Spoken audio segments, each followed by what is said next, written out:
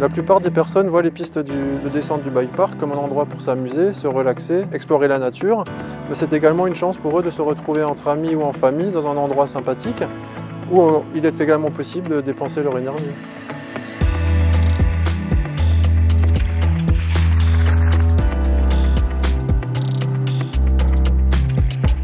Ici on trouve ça beau, un peu comme une œuvre d'art, ces sentiers tracés à flanc de montagne, euh, construits pour notre plus grand plaisir. Fan de VTT ou pas, on ne peut que constater que le VTT de descente offre un moyen de s'évader du quotidien, mais également une grosse dose d'adrénaline.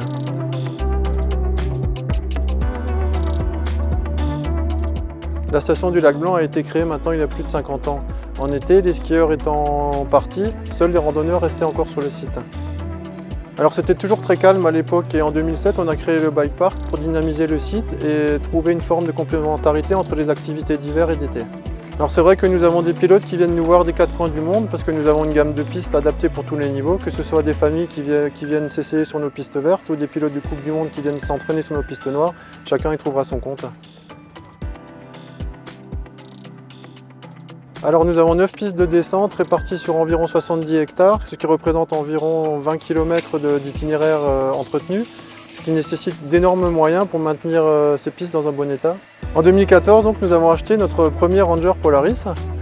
L'apport d'un véhicule comme celui-là pour nous est inestimable là où les pentes sont abruptes et où le terrain évolue régulièrement.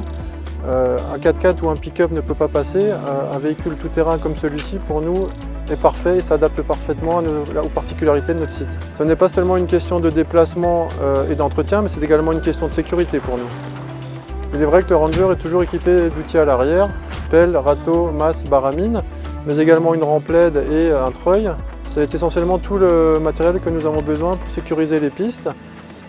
Il s'agit d'un sport très technique, exigeant physiquement, qui nécessite de maîtriser la vitesse et de la concentration. Les pilotes qui évoluent sur nos pistes peuvent atteindre des vitesses incroyables, ils, doivent donc être certains que la piste est dégagée et sécurisée pour eux.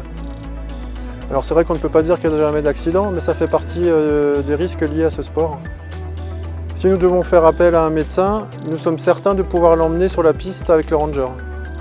Qu'il s'agisse de transporter de l'équipement, du matériel, un secouriste, un médecin ou un vététiste, nous sommes équipés d'une cabine fermée et chauffée pour transporter tout le monde.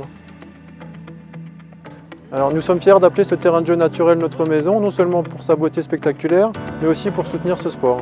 Chaque sortie avec le ranger permet de nous évader, il nous permet d'aller partout, il n'y a pas de limite et pour euh, notre métier ça n'a pas de prix.